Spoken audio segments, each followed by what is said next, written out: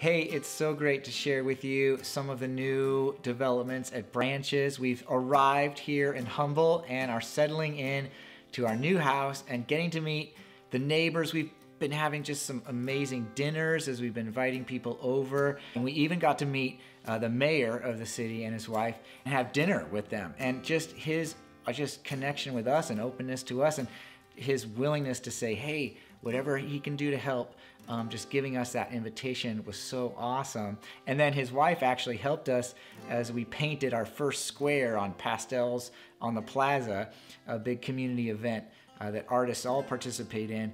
We got to put our Branches Humboldt uh, pastel on there and participate together. It was really super cool. Right now, we're beginning to host our very first lead team dinners. Our Branches Mission Group is beginning to develop. We have about 12 people leaning in with us, interested in helping and being a part of our leadership team. We did a really neat prayer event a little over a month ago where we gathered about 20 people. We walked around the city and had planned out different spots in the city that we could pray for at the fire station, at City Hall, um, in the center of the city. And it was really neat to be able to connect with um, the community and also pray for the community.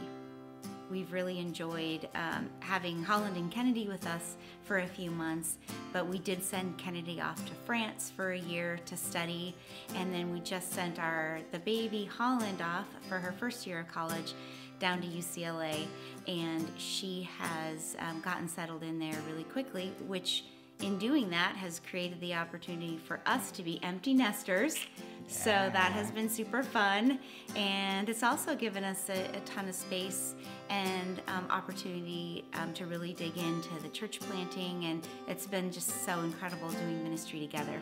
We would love for you to continue to pray for us as we make these new friendships and these new relationships in the city and in this community. So praying for the development of our lead leadership team and the development of our launch team and, and those leaning into this new movement of God.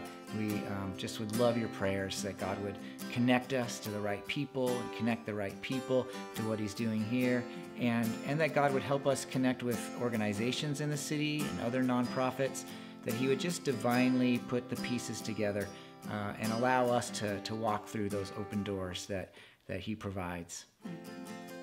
Uh, we'd also cherish your prayers as we continue in our fundraising efforts. Through your support and generosity, we were able to meet our first goal, which was over half our long range three year ministry plan goal. And so now we're just looking ahead in faith to those stretch goals and other projects that we want to be ready to say yes to as God brings along our path. So thanks for continuing to kind of pray with us as we step forward in that. Once again, it's been so neat to share this update with you, and we're so grateful for you and just the encouragement that you bring to us in this new mission. Thanks so much.